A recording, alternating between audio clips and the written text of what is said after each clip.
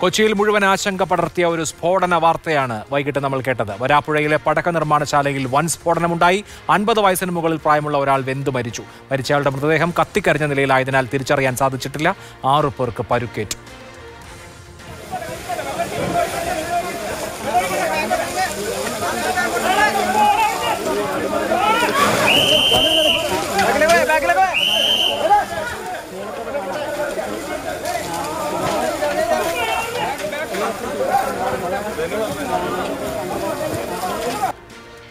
പരുക്കേറ്റ മൂന്ന് കുട്ടികളുടെ നില ഗുരുതരമാണ്. ചേരാനല്ലൂരിലെ സ്വകാര്യ ആശുപത്രിയിൽ പ്രവേശിപ്പിച്ചിരിക്കുകയാണ് ഇവരെ.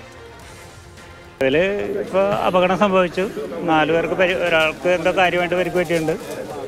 അഞ്ച് പേരുണ്ടായിരുന്നുള്ളതാണ് പറയുന്നത്. അടുക്കള വീടുകൾ തകർന്നിട്ടുണ്ട്. പരിസരത്തുള്ള വീടുകളെല്ലാം തകർന്നിട്ടുണ്ട്. ചില്ലുകൾ പൊട്ടിയിട്ടുണ്ട്. ഒരു നാല് കിലോമീറ്റർ അകലെ വരെ പിന്നെ ശബ്ദം കേട്ടിരുന്നു. പോലീസും ആംബുലൻസ് ഫയർഫോഴ്സ് എല്ലാവരും പെട്ടെന്ന് എത്തി.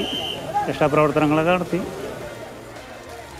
പടക്കശാല പ്രവർത്തിച്ചിരുന്നത് അനധികൃതമായിട്ടാണ്. നിർമ്മിക്കാനും സൂക്ഷിക്കാനും ലൈസൻസ് ഉണ്ടായിരുന്നില്ലെന്ന് ജില്ലാ കളക്ടർ ഡോക്ടർ രേണു രാജു പറഞ്ഞു.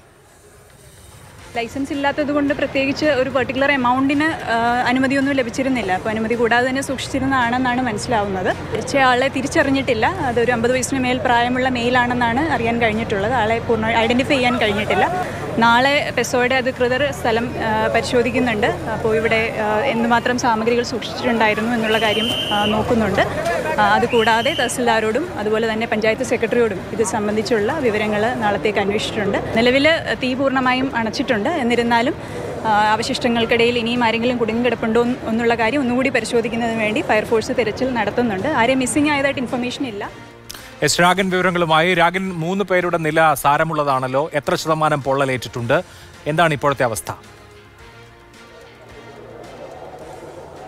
വൈകിട്ട് അഞ്ചു മണിയോടുകൂടിയാണ് വരാപ്പുഴ മുട്ടിനകത്ത് ഇത്തരത്തിൽ ഒരു ഉഗ്രസ്ഫോടനം ഉണ്ടായത്. ഈ സംഭവത്തിൽ ഒരു ഉഗ്രസ്ഫോടനത്തിന്റെ ഒരു പ്രകമ്പനം. അതൊരു അഞ്ച് കിലോമീറ്ററിലധികം നീണ്ടു നിന്നു. ഇവിടെ ഈ സമയത്ത് മൂന്ന് പേരാണ് ഉണ്ടായിരുന്നതാണ് വ്യക്തമാകുന്നത്. അതിൽ ഒരാളാണ് മരിച്ചിട്ടുള്ളത്. മറ്റ് രണ്ടു പേർക്കും പരിക്കേറ്റിട്ടുണ്ട്. അവരുടെ പരിക്ക് ഗുരുതരമാണ്. കൂടാതെ ഈ സമീപ പ്രദേശങ്ങളിലെ വീടുകൾക്ക് വലിയ കേടുപാടുകൾ സംഭവിച്ചു. വീട്ടിലുണ്ടായിരുന്നവർക്കും പരിക്കേറ്റു. കാരണം ഈ ചില്ലും മറ്റുമൊക്കെ തുളഞ്ഞു കയറിയാണ് പരിക്കേറ്റിട്ടുള്ളത്. കാരണം അത്രയധികം വലിയ ഒരു പ്രകമ്പനമാണ് ഇവിടെ ഉണ്ടായത്. വീടുകൾ ഒരുപാട് നാശനഷ്ടമുണ്ടായി. അവർക്കും അവരെയും ആശുപത്രിയിൽ പ്രവേശിപ്പിച്ചിട്ടുണ്ട്. അതിലൊരു കുട്ടി അടക്കമുള്ളവർക്കാണ് പരിക്ക് ഗുരുതരമായിട്ട് ഉള്ളത്. എന്തായാലും ചേരാനല്ലൂരിലെ സ്വകാര്യ ആശുപത്രിയിൽ ചികിത്സയിലാണ് ഏവരും അതിൽ ഇപ്പോൾ ആകെ മൂന്ന് പേരുടെ നിലയാണ് അല്പം സാരമായിട്ടുള്ളത്. എന്തായാലും മറ്റ് കാര്യങ്ങളൊക്കെ ഇപ്പോൾ അണ്ടർ കൺട്രോളിലായിട്ടുണ്ട് കാരണം ഇതിന് അടിയിലൊക്കെ തന്നെ പടക്കങ്ങൾ ഒരുപാടുണ്ടായിരുന്നു. അത് ചെറു സ്ഫോടനങ്ങളായി വീണ്ടും വീണ്ടും പൊട്ടിത്തെറിച്ചുകൊണ്ടിരുന്നു. അതടക്കം ഭീതി ജനിപ്പിക്കുന്ന ഒരു സ്ഥിതിവിശേഷമായിരുന്നു ഇവിടെ ഉണ്ടായിരുന്നത്. അതൊക്കെ ഇപ്പോൾ മാറ്റിയിട്ടുണ്ട്. ഫയർഫോഴ്സും മറ്റ് പോലീസും ഉൾപ്പെടെയുള്ള വിഭാഗങ്ങൾ സ്ഥലത്തെത്തി പരിശോധന നടത്തി. കൂടുതൽ പരിശോധനകൾ വരും ദിവസങ്ങളിൽ ഉണ്ടാകും. നാളെ പെസോയുടെ അധികൃതരടക്കം സ്ഥലത്തെത്തുന്നുണ്ട്. പോലീസും സംഭവത്തിൽ കേസെടുത്ത് അന്വേഷണം നടത്തും. പോലീസ് ഉൾപ്പെടെയുള്ള വിഭാഗങ്ങളും സ്ഥലത്ത് ക്യാമ്പ് ചെയ്യുകയാണ്. നേരത്തെ സൂചിപ്പിച്ചതുപോലെ ഇത് സംഭരിക്കാനും അതോടൊപ്പം തന്നെ നിർമ്മാണം നടത്താനും ലൈസൻസ് ഉണ്ടായിരുന്നില്ല എന്നാണ് കളക്ടർ അറിയിച്ചത്. അത്തരം അടക്കമുള്ള കാര്യങ്ങൾ വിശദമായി തന്നെ പരിശോധിക്കും. സെയിലിനുള്ള ലൈസൻസ് മാത്രമാണ് ഇവിടെ ഉണ്ടായിരുന്നത്. എന്തായാലും പ്രദേശവാസികൾക്കടക്കം ഏറെ ബുദ്ധിമുട്ട് ഇതുമായി ബന്ധപ്പെട്ട് ഉണ്ടാക്കിയിട്ടുണ്ട്. ഇത്തരം ജനവാസ കേന്ദ്രത്തിൽ ഇത് എങ്ങനെ പ്രവർത്തിച്ചു എന്നടക്കമുള്ള കാര്യങ്ങളിൽ വരും ദിവസങ്ങളിൽ വിശദമായിട്ടുള്ള ഒരു അന്വേഷണം ഉണ്ടാകും. അഭിലാഷ്. കൊച്ചിയെ നടുക്കിയാണ് ചേരാനുള്ള അടുത്ത് ഇങ്ങനെ ഒരു സ്ഫോടനം ഉണ്ടായിരിക്കുന്നത്. ഒരാളാണ് മരിച്ചത്. ലൈഫ് മിഷൻ കേസ് ആരോപണങ്ങളാണ് ഇന്ന് നിയമസഭയിൽ കത്തിപ്പടർന്നത്. അടിയന്തര പ്രമേയ ചർച്ചയ്ക്കിടെ പല കുറി മുഖ്യമന്ത്രിയും മാത്യു കുഴൽനാടനും വാക്കുകൾ കൊണ്ട് ഏറ്റുമുട്ടി. ലൈഫ് മിഷൻ കേസിലെ റിമാൻഡ് റിപ്പോർട്ടിലെ പരാമർശങ്ങൾ ഉന്നയിച്ച പ്രതിപക്ഷത്തിന് മറുപടി നൽകാൻ മുഖ്യമന്ത്രി നേരിട്ടിറങ്ങിയതോടെ സഭ പ്രക്ഷുബ്ധമായി. ഏജൻസി തെറ്റായ വിവരങ്ങൾ നൽകിയിട്ടുണ്ടെങ്കിൽ കോടതിയെ സമീപിക്കുമോ എന്ന് ചോദിച്ച കുഴൽനാടന് ഉപദേശം വേണ്ടെന്നാണ് മുഖ്യമന്ത്രി മറുപടി നൽകിയത്.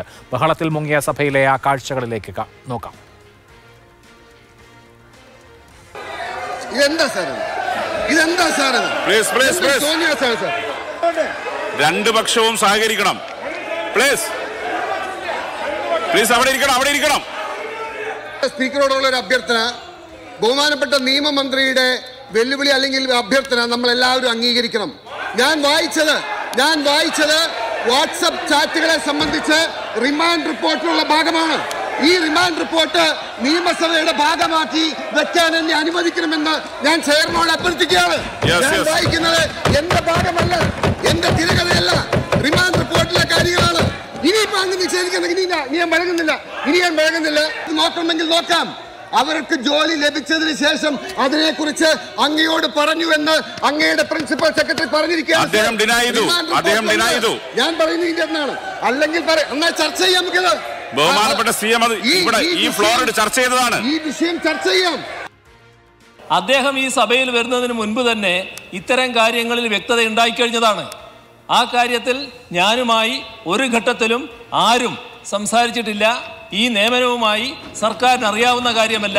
അതിന്റെ മേലെയാണ് നടപടികളിലേക്ക് പോയത്. എന്തും വിളിച്ചു പറയാനൊരു അവസരമായിട്ട് അദ്ദേഹം ഇതിനെ എടുത്തുകൊണ്ടിരിക്കുകയാണ്. ഞാൻ പറഞ്ഞത് ഞാൻ എഴുതിയ തിരകഥയല്ല ഈ രാജ്യത്തെ അന്വേഷണ ഏജൻസി കോടതിക്ക് മുമ്പിൽ കൊടുത്ത റിപ്പോർട്ടാണ്. അങ്ങേക്കുറിച്ച് അവ അങ്ങയെക്കുറിച്ച് ഇതുപോലെ തെറ്റായ റിപ്പോർട്ട് പറഞ്ഞിട്ടുണ്ടെങ്കിൽ അങ്ങ് കോടതിക്ക് മുമ്പാകെ ചലഞ്ച് ചെയ്യാൻ തയ്യാറാകണം. ഞങ്ങൾ അങ്ങയോടൊപ്പം നിൽക്കാം. അങ്ങേക്ക് ഉറപ്പുണ്ട് എങ്കിൽ ഇത് സംഭവിച്ചിട്ടില്ല എന്നുണ്ടെങ്കിൽ എങ്ങനെയാണ് ഒരു മുഖ്യമന്ത്രിയെ കുറിച്ച് കോടതിയിൽ അതുപോലെ കാഴ്ച കൊടുക്കാൻ എനിക്ക് അത്തരം ഉപദേശം വേണമെങ്കിൽ അദ്ദേഹത്തെ ഞാൻ സമീപിച്ചോളാം. ഇപ്പൊ എനിക്ക് കാര്യങ്ങൾ തീരുമാനിക്കാൻ എന്റേതായ ഗവൺമെന്റേതായ സംവിധാനങ്ങളുണ്ട്. അത് വെച്ചുകൊണ്ട് തന്നെയാണ് ഞാൻ പോകുന്നത്. ഇദ്ദേഹത്തെ പോലെ ഒരാളുടെ ഉപദേശം അനുസരിച്ച് നീങ്ങേണ്ട ആവശ്യം എനിക്ക് ഇപ്പോൾ തൽക്കാലമില്ല. മുഖ്യമന്ത്രി പിണറായി വിജയനും മാത്യു കുഴൽ നടൻ എം എൽ എയും സഭയിൽ കൊമ്പുകോർത്തത് ഇതാദ്യമായല്ല. ഇന്ന് ലൈഫ് മിഷൻ കോഴയായിരുന്നു വിഷയമെങ്കിൽ കഴിഞ്ഞ രണ്ട് സഭാ സമ്മേളനങ്ങളിൽ സ്വർണക്കടത്ത് കേസുമായി ബന്ധപ്പെട്ട ആരോപണങ്ങളായിരുന്നു ഇരുവർക്കും ഇടയിൽ പോർമുഖം തുറന്നത്. Whether you have got the courage to deny this ഇത് നിഷേധിക്കാൻ നിങ്ങൾക്ക് കഴിയോ? സർ സർ പച്ച കള്ളമാണത്. എന്നെ കണ്ടിട്ടുമില്ല ഞാനുമായി ഡിസ്കസ് ചെയ്തിട്ടില്ല. യെസ് ഒരേ നഗരത്തിലെ രണ്ട് പ്രധാന ടീമുകൾ ഏറ്റുമുട്ടുന്ന നാട്ടാംഗങ്ങളെയാണ് സ്പോർട്സിൽ ഡർബി എന്ന് വിളിക്കുന്നത്. കേരള നിയമസഭയിലെ പ്രസ്ഥാനത്തോളം പോന്ന വ്യക്തിയായ മുഖ്യമന്ത്രി പിണറായി വിജയനും പ്രതിപക്ഷ നിരയിലെ കന്നിക്കാരനായ മാത്യു കുഴൽനാടനും പോരടിക്കുമ്പോൾ സഭാതലത്തിൽ ഒരു ഡെർബിയുടെ ആവേശമാണ്. സ്വർണക്കടത്ത് കേസാണ് പിണറായി കുഴൽനാടൻ നാട്ടാങ്കത്തിൽ ഇതിനു മുമ്പ് വിഷയമായത്. കൊണ്ടും കൊടുത്തും വെട്ടിയും തടഞ്ഞും സഭയെ വിറപ്പിച്ച പോരാട്ടത്തിന്റെ ആദ്യ ഖണ്ഡം. അങ്ങയുടെ മകൾ വീണ വിജയൻ അവരുടെ കമ്പനിയുടെ പേരാണ് എക്സാലോജിക് എന്ന് പറഞ്ഞ കമ്പനി. ആ കമ്പനിയുടെ വെബ്സൈറ്റിൽ ഒരു സമയത്ത് ചില കാര്യങ്ങൾ കുറിച്ചിട്ടുണ്ടായിരുന്നു. അതിന്റെ അത് പറഞ്ഞിരുന്നത് എനിക്ക് മെൻഡറെ പോലെ എന്റെ മെൻഡറെ പോലെ ഞാൻ കാണുന്നയാളാണ് ജയ്ക് ബാലകുമാർ എന്ന് പറയുന്നത്. ജയ്ക് ബാലകുമാർ ആരാണ്? പ്രൈസ് വാട്ടർ ഹൗസ് കൂപ്പേഴ്സിന്റെ ഡയറക്ടറായിരുന്നു ഈ ആരോപണം ഉയർന്നു വന്നതിന് തൊട്ട് പിന്നാലെ ആ വെബ്സൈറ്റ് ഡൗണായി മാത്യു കുഴൽനാട് അദ്ദേഹത്തിന്റെ വിചാരം എങ്ങനെയും തട്ടിക്കളിയാന്നാണ്. അതിന് വേറെ ആളെ നോക്കുന്നതാണെന്നല്ലോ? എന്താ നിങ്ങൾ വിചാരിച്ചത് മകളെ പറ്റി പറഞ്ഞാൽ ഞാൻ വല്ലാതെ കിടുങ്ങിപ്പോകുന്നതാണ്. പച്ച കള്ളമാണ് നിങ്ങളിവിടെ പറഞ്ഞത്. നീ അത്തരത്തിലുള്ള ഒരു വ്യക്തിയെ എന്റെ മകളുടെ മെന്ററായിട്ട് ആ മകൾ ഒരു ഘട്ടത്തിലും പറഞ്ഞിട്ടില്ല. അവിടെയും തീരുന്നില്ല. പിണറായി കുഴൽനാടൻ പോരാട്ടത്തിന്റെ വീറുറ്റ അധ്യായങ്ങൾ. മുഖ്യമന്ത്രി സഭയെ തെറ്റിദ്ധരിപ്പിച്ചെന്ന കുഴൽനാടന്റെ പരാതിയിലെ സ്പീക്കറുടെ റൂളിംഗ് വന്നപ്പോഴും ഇരുവരും ഏറ്റുമുട്ടി. സഭയ്ക്ക് പുറത്തേക്കും പടർന്ന ഏറ്റുമുട്ടൽ ഏറെ ആക്രമണങ്ങൾ നേരിടേണ്ടി വന്നെങ്കിലും മാത്യു കുഴൽനാടിലെ പോരാളി അടങ്ങുന്ന മട്ടില്ല. ലൈഫ് അഴിമതിയിലും പോർമുഖം തുറക്കുന്ന മാത്യു പ്രായത്തിലൊപ്പമെങ്കിലും പിണറായിക്കൊത്ത പോരാളിയാണ്. ന്യൂജൻ പോരാളി. R Sreejith Mathrubhumi news Thiruvananthapuram. പ്രതിപക്ഷത്തിന്റെ അടിയന്തര പ്രമേയ നോട്ടീസിൽ നിയമസഭയിൽ നടന്നത് നാടകീയ സംഭവങ്ങളാണ്. പ്രതിപക്ഷാക്രമണത്തെ ചെറുക്കാൻ മന്ത്രിമാർക്കൊപ്പം മുഖ്യമന്ത്രിയും പലവട്ടം രംഗത്തിറങ്ങി. റിമാൻഡ് റിപ്പോർട്ട് സഭയിൽ ഉന്നയിച്ചത് ചട്ടപ്രശ്നമാക്കിയായിരുന്നു ഭരണപക്ഷ പ്രതിരോധം. ഇക്കാര്യം ഉന്നയിച്ച് മുഖ്യമന്ത്രി ചെയറിന് താക്കീത് നൽകുന്നതിനും സഭ സാക്ഷിയായി. ലൈഫ് മിഷൻ വിഷയം ആവർത്തിച്ചുന്നയിക്കുന്നതിലെ അപാകത തുടക്കത്തിലെ ഉന്നയിച്ചുകൊണ്ടായിരുന്നു ഭരണപക്ഷത്തിന്റെ ആദ്യ പ്രതിരോധം. വീഞ്ഞും പഴയതാണ് കുപ്പിയും പഴയതാണ്. ഇപ്പോൾ ഒരു പുതുമ നൽകാൻ ഇ ഡിയുടെ നടപടിയാണ് ഉപയോഗിച്ചിട്ടുള്ളത്. മാത്യു കുഴൽ നാടൻ പ്രസംഗിച്ചു തുടങ്ങിയപ്പോൾ തന്നെ ഭരണപക്ഷം പ്രതിഷേധവുമായി എഴുന്നേറ്റു. ഇ ഡിയുടെ റിമാൻഡ് റിപ്പോർട്ടിൽ ഉൾപ്പെടുത്തിയ വാട്സപ്പ് ചാറ്റുകൾ കുഴൽനാടൻ ഒന്നൊന്നായി വായിച്ചതോടെ ചട്ടമുദ്ധരിച്ച് മന്ത്രി പി രാജീവിന്റെ വെല്ലുവിളി. സഭാ ചട്ടമനുസരിച്ച് മേശപ്പുറത്ത് വെക്കട്ടെ. ആ വാട്സപ്പ് ചാറ്റുകൾ മേശപ്പുറത്ത് വെക്കട്ടെ.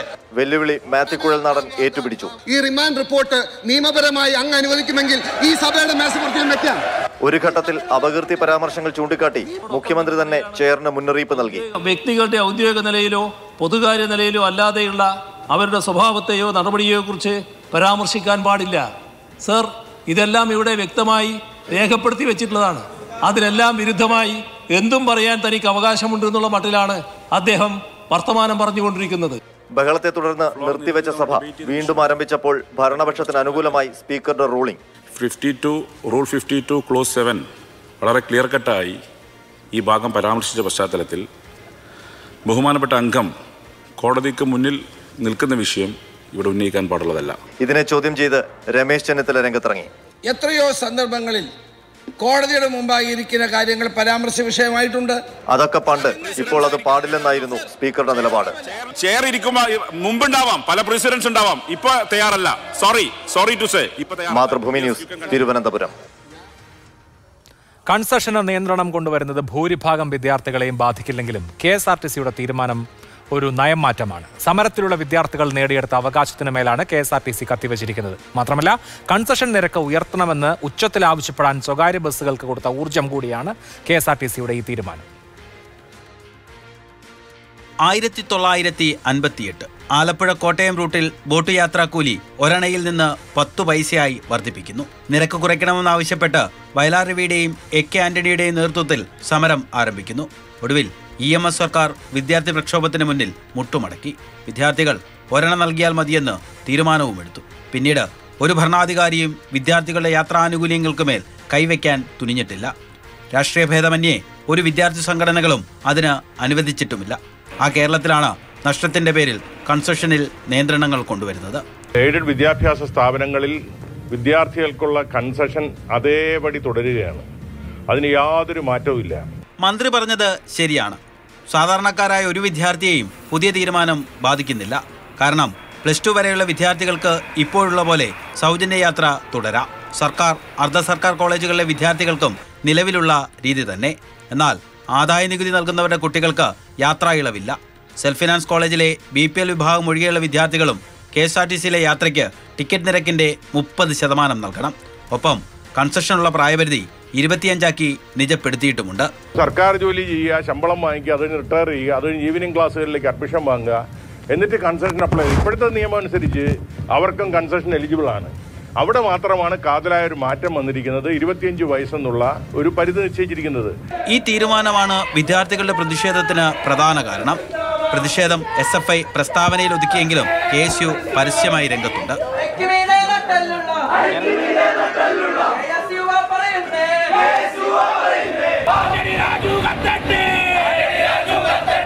കൺസെഷൻ എന്ന് പറയുന്നത് വിദ്യാർത്ഥികളുടെ ന്യായമായിട്ടുള്ള അവകാശമാണ്. അത് സർക്കാരിന്റെ ഔദാര്യമല്ല എന്ന് ഒരിക്കൽ കൂടി പിണറായി വിജയൻ സർക്കാരിനെയും ആന്റണി രാജുവിനെയും ഓർമ്മപ്പെടുത്താൻ കേരള വിദ്യാർത്ഥി യൂണിയൻ ആഗ്രഹിക്കുകയാണ്. Concession K S R T സിയിൽ നിയന്ത്രണം കൊണ്ടുവന്നതിന് പിന്നാലെ സ്വകാര്യ ബസ് ഉടമകളും നിരക്ക് വർധന ആവശ്യപ്പെടുന്നു. സ്വകാര്യ ബസ്സിൽ ഒരു രൂപയാണ് കൺസെഷൻ എന്ന് പറയുന്നുണ്ടെങ്കിലും മിക്കയിടത്തും അഞ്ചു രൂപയാണ് ഈടാക്കുന്നത്. അപ്പോൾ തന്നെയാണ് നിരക്ക് വർധന എന്ന ആവശ്യവും. K S R T C പൊതുഗതാഗത സംവിധാനമാണ്. പൊതുമേഖലാ സ്ഥാപനമായതുകൊണ്ട് തന്നെ ലാഭത്തിലെത്തിക്കണമെന്നാണ് എൽ ഡി എഫ് സർക്കാരിന്റെ നിലപാട്. അതുകൊണ്ട് ഇങ്ങനെയൊക്കെ ചെയ്യേണ്ടി വരുമെന്ന് മാനേജ്മെന്റും ന്യായീകരിക്കുന്നു. മാതൃഭൂമി ന്യൂസ് തിരുവനന്തപുരം. മുസ്ലിം ലീഗ് കോഴിക്കോട് ജില്ലാ കമ്മിറ്റി തെരഞ്ഞെടുപ്പിൽ നടന്നത് നാടകീയ നീക്കങ്ങൾ. കെ എം ഷാജി പക്ഷം നിലപാടിൽ ഉറച്ചു നിന്നതോടെ ഭാരവാഹിത്വത്തിലേക്ക് നിർദ്ദേശിച്ചവരെ പി കെ കുഞ്ഞാലിക്കുട്ടിക്ക് പിൻവലിക്കേണ്ടി വന്നു. ഒത്തുതീർപ്പ് നീക്കവും വിജയിക്കാതെ വന്നതോടെയാണ് ഷാജി പക്ഷക്കാരായ എം എ റസാഖ് പ്രസിഡന്റും ടി ടി ഇസ്മായിൽ ജനറൽ സെക്രട്ടറിയുമായി പുതിയ കമ്മിറ്റി വന്നത്. ജില്ലാ കമ്മിറ്റിയിൽ പയറ്റി തെളിഞ്ഞ തന്ത്രങ്ങൾ സംസ്ഥാന കമ്മിറ്റിയിലും കെ എം ഷാജി പ്രയോഗിച്ചാൽ അത് ലീഗിലെ പരസ്യ പോരായി മാറാം. മുസ്ലിം ലീഗ് കോഴിക്കോട് ജില്ലാ കമ്മിറ്റി ഭാരവാഹിത്വത്തിലേക്ക് പി കെ കുഞ്ഞാലിക്കുട്ടിയുടെ നിർദ്ദേശം ഇങ്ങനെ. President Parakkal Abdulla general secretary Soopy Narikkattery treasurer N C Abubakar. ഇത് അംഗീകരിക്കാനാവില്ലെന്ന് ഷാജി പക്ഷം ഉറച്ച നിലപാടെടുത്തു. പ്രസിഡന്റ് സ്ഥാനത്തേക്ക് എം എ റസാഖിനെയും ജനറൽ സെക്രട്ടറിയായി ടി ടി ഇസ്മായിലിനെയും ഷാജിപക്ഷം നിർദ്ദേശിച്ചു. കുഞ്ഞാലിക്കുട്ടി ജനറൽ സെക്രട്ടറിയായി നിർദ്ദേശിച്ച സൂപ്പി നരിക്കാട്ടേരിയെ ട്രഷററാക്കാമെന്നും സമ്മതിച്ചു. ഇതോടെ തർക്കമായി. ഒത്തുതീർപ്പിനായി കോഴിക്കോട്ടെ ലീഗ് ഹൗസിൽ നേതാക്കളുടെ നീണ്ട ചർച്ച. വിട്ടുവീഴ്ചക്ക് കുഞ്ഞാലിക്കുട്ടി ഒരുങ്ങി. ഷാജി പക്ഷക്കാരനായ ടി ടി ഇസ്മായിലിനെ ജനറൽ സെക്രട്ടറിയാക്കാം. പ്രസിഡന്റായി പാറക്കൽ അബ്ദുള്ള തന്നെ വേണമെന്ന് കുഞ്ഞാലിക്കുട്ടി നിലപാടെടുത്തു. ഇതും അംഗീകരിക്കപ്പെട്ടില്ല. എം കെ മുനീറും ഇ ടി മുഹമ്മദ് ബഷീറും കെ എം ഷാജിയും ഉറച്ചുനിന്നു പാനൽ അംഗീകരിച്ചില്ലെങ്കിൽ മത്സരിക്കുമെന്ന് ഈ പക്ഷം ഭീഷണി മുഴക്കിയതോടെ കുഞ്ഞാലിക്കുട്ടി പൂർണമായും കീഴടങ്ങി. ഷാജിയുടെ പാനൽ വരട്ടെയെന്ന് സ്വാതിക്കലി തങ്ങളും നിലപാടെടുത്തു. ലീഗ് ഹൗസിൽ നിന്ന് ക്ഷുഭിതനായി കുഞ്ഞാലിക്കുട്ടി മടങ്ങി. പിന്നീട് നടന്ന കൗൺസിൽ യോഗത്തിലും ബഹളമുണ്ടായി. ഭാരവാഹികളുടെ ലിസ്റ്റ് വായിച്ചപ്പോൾ അംഗങ്ങൾ ബഹളം വെച്ചു. ശാഖാതലം മുതൽ തിരഞ്ഞെടുപ്പിലൂടെ ഭാരവാഹികളെ കണ്ടെത്തിയപ്പോൾ ജില്ലാ കമ്മിറ്റിയിൽ നാമനിർദ്ദേശം ചെയ്തതിനെയാണ് അംഗങ്ങൾ ചോദ്യം ചെയ്തത്. സ്വാതിക്കലി തങ്ങൾ തീരുമാനിച്ച ലിസ്റ്റാണിതെന്ന് നേതാക്കൾ അറിയിച്ചെങ്കിലും ബഹളം തുടർന്നു. ഭാരവാഹി പട്ടിക വായിച്ച ഉടൻ പി കെ കുഞ്ഞാലിക്കുട്ടി കൗൺസിൽ യോഗത്തിൽ നിന്ന് മടങ്ങി. മൂന്ന് തവണയിൽ കൂടുതൽ കാലം ഭാരവാഹികളായവരും പട്ടികയിൽ വന്നതോടെയാണ് എതിർപ്പുയർന്നത്. കുറച്ചുകാലമായി കുഞ്ഞാലിക്കുട്ടിയുമായി അകലത്തിലായ എം എ റസാക്ക് ഷാജി പക്ഷത്തിനൊപ്പമാണ്. കേരയിൽ സമര നേതാവായിരുന്ന ടി ടി ഇസ്മായിലും ഷാജിക്കൊപ്പമാണ്. തട്ടകമായ കണ്ണൂരിലേറ്റ തിരിച്ചടിക്ക് കോഴിക്കോട് കണക്ക് പറയാൻ കഴിഞ്ഞ ആത്മവിശ്വാസത്തിലാണ് ഷാജി പക്ഷം. ജില്ലാ കമ്മിറ്റിയിൽ പയറ്റിത്തെളിഞ്ഞ തന്ത്രങ്ങൾ സംസ്ഥാന കമ്മിറ്റിയിലും പ്രയോഗിക്കാനാകുമെന്നാണ് ഷാജി പക്ഷത്തിന്റെ കണക്കുകൂട്ടൽ. ദഫുമുട്ട് കോൽക്കളി പിന്നെ ഈ കുത്രാത്തീപിന്റെ ആൾക്കാർ വരെ കയ്യിൽ തന്നെ ഉള്ളത് കൊണ്ട് കുത്തുറാത്തീപ് മുഹമ്മദ് ഷഹീദ് മാതൃഭൂമി ന്യൂസ് കോഴിക്കോട്.